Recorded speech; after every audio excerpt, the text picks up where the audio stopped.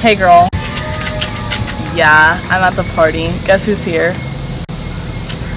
Yeah, and she's with a different guy. Yeah.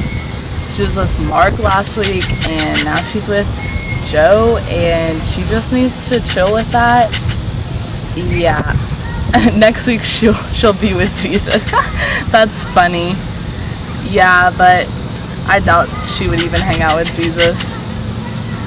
Okay. Bye. All they ever talk about is how imperfect I am and how Jesus or God or whoever would never love me because of all my mistakes. And maybe that's true, but But you're wrong. No matter how many times you slip up or sin, Jesus will still love you. He'll still want to be your friend. I couldn't help but notice that you look troubled. I don't think you'll understand. Try me. Lately, I've just been making the biggest mistakes I could possibly make, and all my friends are inviting me to these church events, but But what? how could someone like me do something like that? I'm so messed up compared to them. You don't think the other people that go to church aren't just as messed up as you are? We're all born to sin at some part in our lives.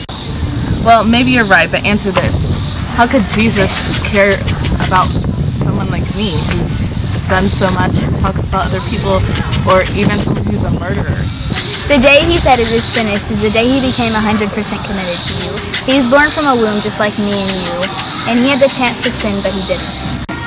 So you're saying Jesus can be my friend?